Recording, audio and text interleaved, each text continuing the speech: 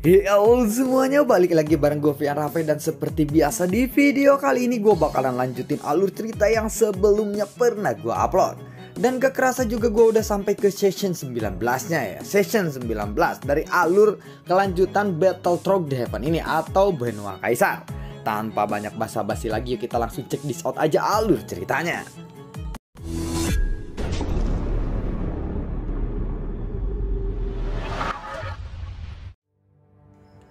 Di episode sebelumnya, Xiaoyan yang telah tiba di benua Kaisar saat ini Xiaoyan mengunjungi Aula Xiao.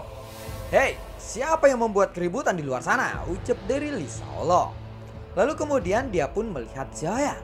Xiaoyan, Xiaoyan, ucap dari Li Shaolong. Sudah lama kita tidak bertemu Li Shaolong, ucap dari Xiaoyan.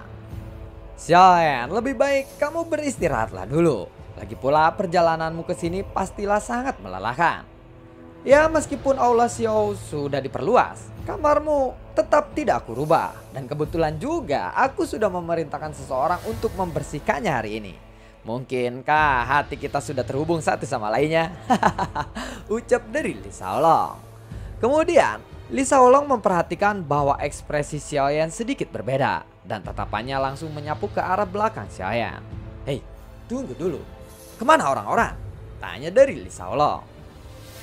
Ceritanya panjang sekali, tetapi jangan khawatir. Aku berjanji, aku pasti akan menemukan mereka kembali. Ucap dari Xiaoyan.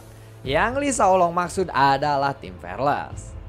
Tidak apa-apa, Xiaoyan, kami semua percaya kepadamu.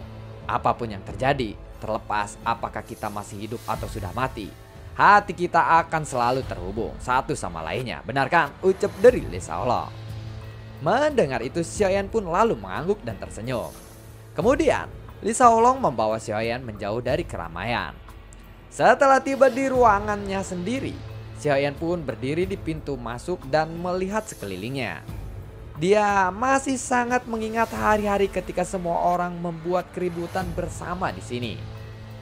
Saat ini, dia lalu bergerak maju. Langkah Xiaoyan tampak menjadi lebih berat. Setelah memasuki aula Xiao, ia terus teringat kenangan-kenangan bersama orang-orang.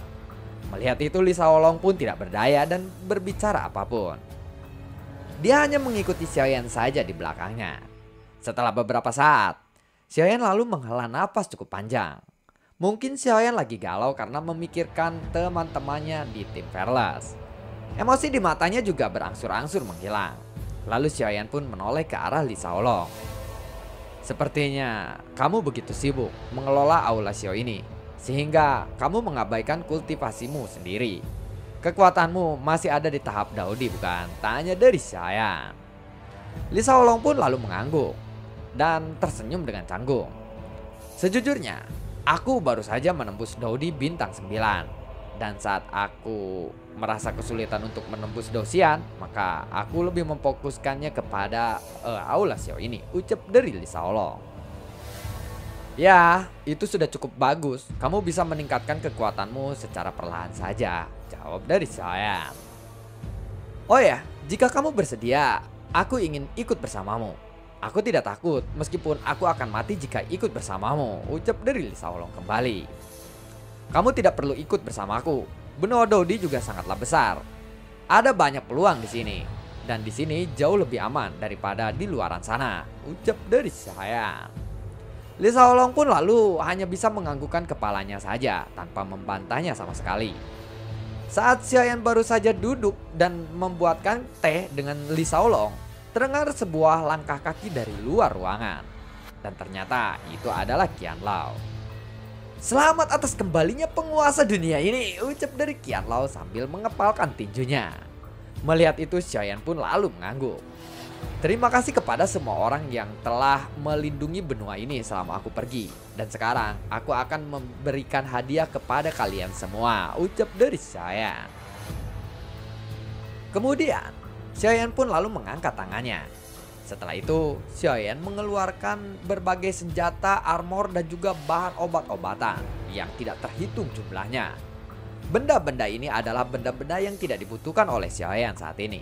Tetapi bagi Li Shaolong dan juga Qian Lao, benda-benda ini adalah harta karun yang begitu berharga.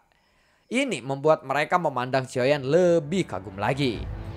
Tuan, Anda sudah kembali. Jadi benua Dodi akan dikelola oleh Anda lagi. Dan benua Dodi pasti akan lebih makmur di bawah kepemimpinan Anda, ucap dari Kian Lao. Kian Lao, kamu terlalu sopan kepadaku. Jika aku yang memimpin, mungkin benua Dodi tidak akan sebagus sekarang. Oh ya, apakah dunia Dewa Dara ada ke sini? Tanya dari saya. Dunia Dewa Dara belum pernah ke sini, tetapi ada beberapa kapal yang datang. Namun, itu tidak seperti dari dunia Dewa Dara. Dan mereka tidak memulai serangan terhadap kita. Mereka hanya mencuri air dari lautan emas saja. Maafkan atas kelalaianku dalam menjaga tempat ini, ucap dari Kian Lao. Aku tidak perlu menyalahkan kalian semua dan kamu juga tidak perlu menyalahkan dirimu sendiri. Kita pasti akan mengambilnya kembali nanti, ucap dari saya.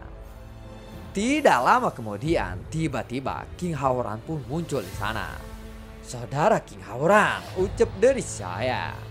Sudah lama kita tidak bertemu. Di mana King Muar? Tanya dari King Hauran yang sangat mm, uh, merindukan King Hauran. Eh King Muar ya. Mungkin Hauran ini sangat merindukan King Muar. Jadi dia langsung nanya di mana uh, King Muar. Mendengar itu Xiaoyan pun lalu berkata, semua orang telah mati dalam perang, termasuk aku waktu itu, ucap dari Xiaoyan sambil berlinang air mata di pipinya. Dia tidak bisa memberikan penjelasan yang lebih terperinci lagi kepada King Haoran saat ini. Karena sebelumnya, dia telah berjanji untuk melindungi King Muar, tetapi sekarang King Muar telah mati. Apakah semuanya telah mati? Tanya dari King Haoran. Kakak, tapi jangan khawatir. Aku pasti akan membangkitkan mereka kembali, bagaimanapun caranya, ucap dari saya. Bangkit dari kematian. Seberapa yakin kamu akan bisa melakukannya? Tanya dari King Haora. 100% ucap dari Xiaoyan sambil menjawab dengan sangat tegas. King Haoran pun sedikit merenung dan menatap ke arah Xiaoyan untuk waktu yang lama. Aku percaya kepadamu. Bunododi juga pasti akan menunggu mereka kembali, ucap dari King Haoran. Meskipun suasananya menjadi begitu tertekan, King Haoran pun tahu bahwa Xiaoyan ini juga pasti sangat merasa menderita.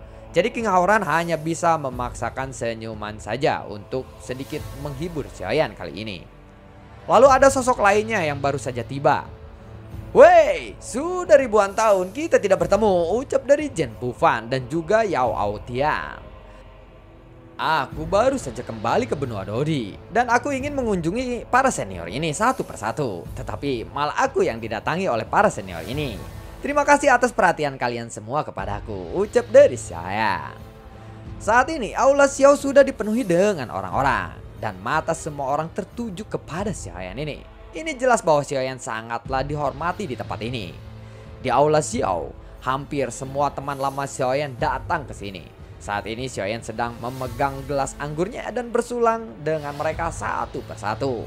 Xiaoyan benar-benar merasa sangat bahagia. Ya kejadian seperti ini memang sangatlah langka bagi hidup Xiaoyan. Sementara itu Xiaoyan selama ini hanya bisa berkultivasi dan menjadi lebih kuat saja. Dan kali ini Xiaoyan pun bisa merasakan sedikit uh, kegembiraan dengan suasananya. Setelah merasa kehilangan yang sangat berat, Xiaoyan pun akhirnya bisa merasakan betapa tulus dan berharganya persahabatan kali ini.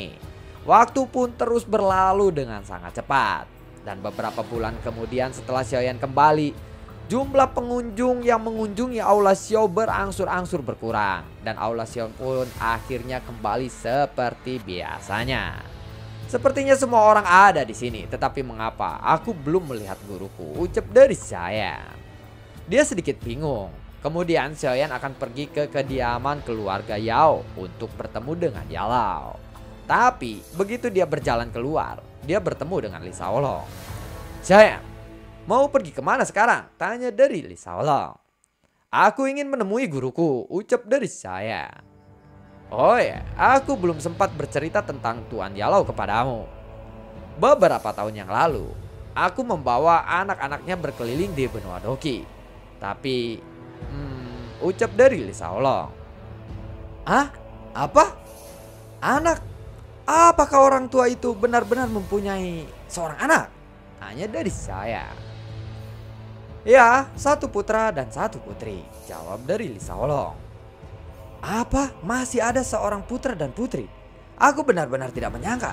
Orang tua itu memiliki kehidupan yang begitu nyaman.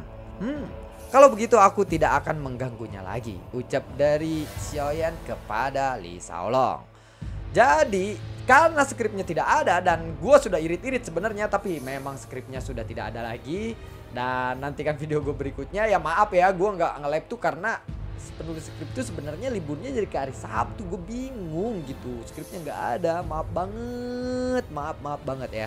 Dan lanjut besok semoga dan besok nanti gue bakalan penuhi durasinya ya. Maksudnya yang durasi sekarang gue bakalan ganti di durasi besok ya dan opening juga sepertinya udah session uh, 20 ya sekarang jadi tapi uh, handphonenya belum ada dan kebetulan ya insya Allah pas gajian lain insya Allah gue usahain beli handphone lagi Terima kasih semuanya dan semoga sehat selalu untuk kalian. Sampai ketemu lagi di video gue berikutnya dan gue selalu ucapin terima kasih banyak buat kalian yang sudah mendukung channel ini dari dulu hingga saat ini. Dan gue juga selalu ucapin terima kasih banyak buat kalian yang sudah mensupport channel ini lewat link Saweria di bawah kolom deskripsi. Sampai ketemu lagi di video gue berikutnya dan semoga sehat selalu untuk kalian. Dadah.